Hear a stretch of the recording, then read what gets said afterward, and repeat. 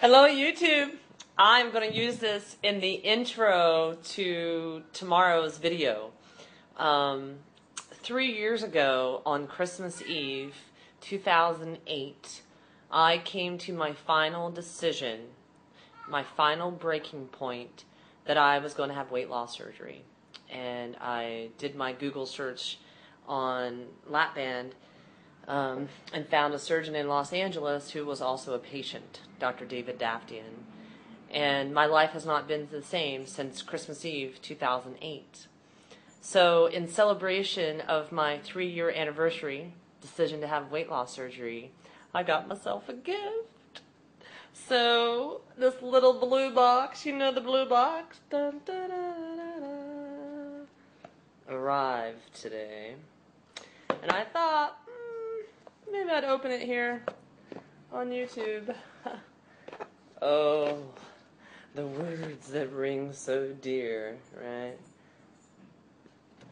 My wedding rings and such, and many of my other jewels are from Tiffany's. And I think because there was a bar next to it for a long time that was easy to get to.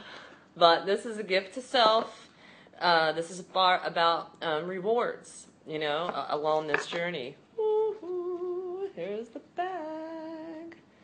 What did I get myself for making the best decision in my entire life? Hmm.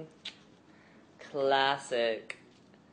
Bracelet. Yay! I don't think I can get it on by myself. Ooh, I love it. Love it. Um, so anyway, let's see. Give me a second. Let me see if I can do it. But yeah, Christmas Eve 2008 is when this whole thing started for me. Believe it or not, I didn't find YouTube videos about weight loss surgery until uh, February or March. Nah, I don't think I can get it all myself. Nope. Uh, I'll try to wear it in my next video. but I'm home alone and I can't get it on. But there's my bracelet. Gift to self. Next, I'm going to get the necklace and the earrings. All by my three year surgiversary is the goal.